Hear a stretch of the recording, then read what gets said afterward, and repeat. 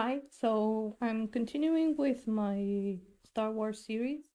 Therefore, um, one boy asked for ATTE. I had no idea what that was, so I had to look it up a lot. And then um, I took advantage of my Midjourney app to create a few ideas because I was so confused. It was that a dog? I had no idea about the size. I have not seen the movie, so judge me on that, but I'm not a I mean, I haven't had the fever of Star Wars when it all started, and now there's so many movies that they're just confusing to me. So, yep, mm, I think thanks to Midjourney, I generated a few ideas, and then I had more or less an idea of what it, this should look like. And um, yeah, it was pretty much fun. Uh, it took me longer than BB-8 and R2D2 just because R2D2, I've seen it. I've seen the first movies.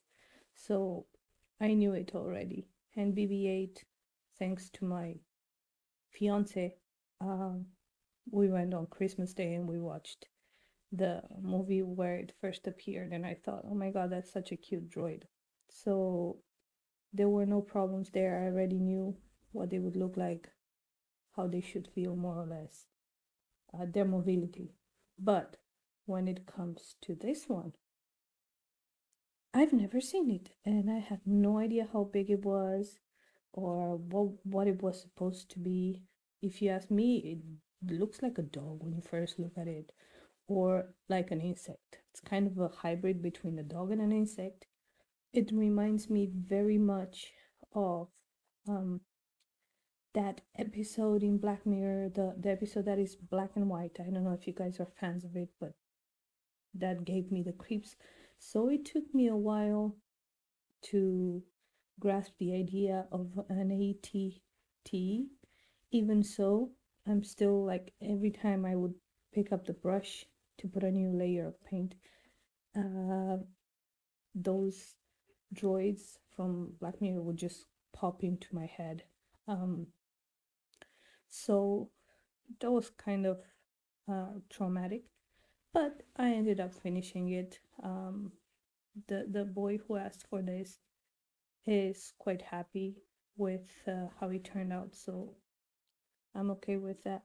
Um, as far as colors, I've pretty much used oranges, browns and blues, um, a little bit of red. That was probably the only new addition to the other Star Wars related paintings.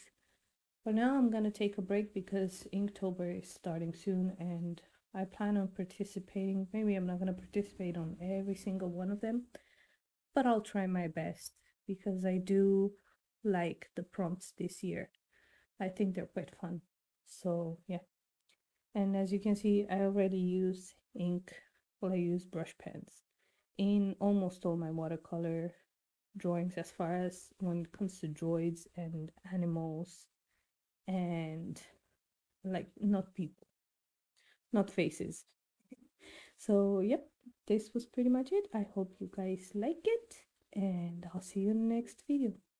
Bye.